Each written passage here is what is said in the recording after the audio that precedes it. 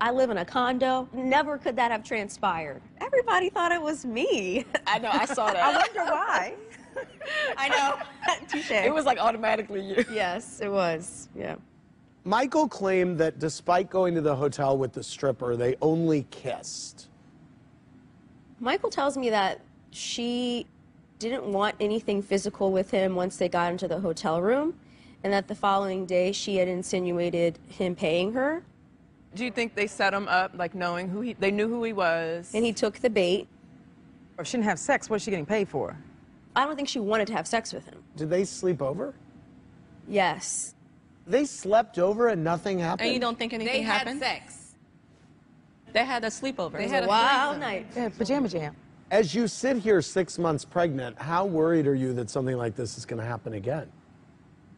Um, I'd be lying to you if I said that I wasn't concerned about it a little bit, but he's home with me every night. He's making a commitment. Like he's really trying. He's and I'm giving him you the benefit tonight. of the doubt until he proves me wrong. Karen, you've certainly been vocal in the past about Michael, and what's your reaction to all this? You have a son to consider, and I support her decision to try to keep her marriage and family together. So we're talking about Jamal and Gizelle. There are three kids there. Mm-hmm. She's trying to make it work with their father. Mm-hmm.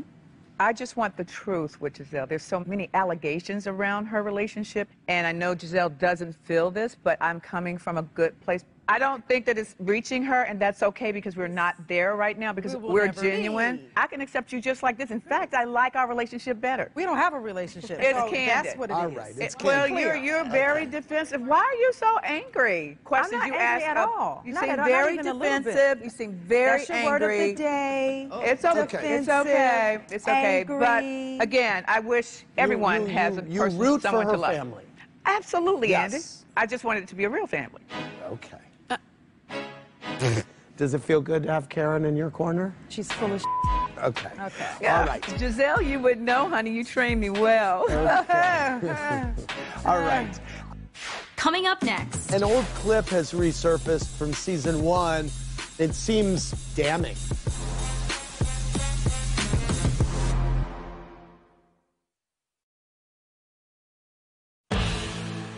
Ashley, an old clip has resurfaced from season one. I, it must have been, I guess, at Charrisse's birthday party of Michael squeezing the ass of a producer and this is certainly relevant given everything that Sure. happened last yes, season. 100%. I mean, when you saw the video, did your heart sink a little bit? No, because I know the context. It's not like that serious to me. This producer was very funny, very flirtatious with Michael in a not very sexual way, but they had this fun relationship. Michael meant no harm. And if you ask that person, it was a very innocent, joking thing. We asked him. He, I mean, he said it wasn't consensual, and he was a little mortified by it. That's funny because he definitely calls my husband Zaddy, but okay. He also, he also has a job and he wants to keep his job. I brought that up last year at the Yes. reunion, so that is the incident that I was referring to. Producers have told us that you have done that to them. That's not true. I mean, I was told the same thing that that same night that Michael grabbed Andrew's butt, he also went around and grabbed their butt. That's not true. If him grabbing the producer's butt and grabbing whoever else's butt are true, then why is grabbing the cameraman's butt untrue? I mean, and that's the point. It seems damning. he had no relationship with that cameraman. He would not do that with someone he does not know. Girl, he did it. We can move on. No, he didn't. The people who allegedly saw it signed affidavits and Sure. they didn't see anything. Like the letter you wrote that was bullshit It's true. I have it a depiction Oh, of I'm what sure. happened chronologically. in your thirst book.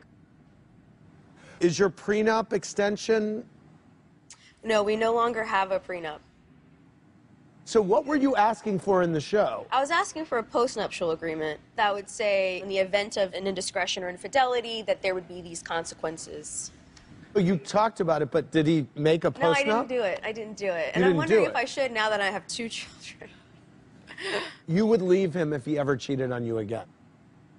I would leave Michael Darby if he cheated on me. Yes. Okay,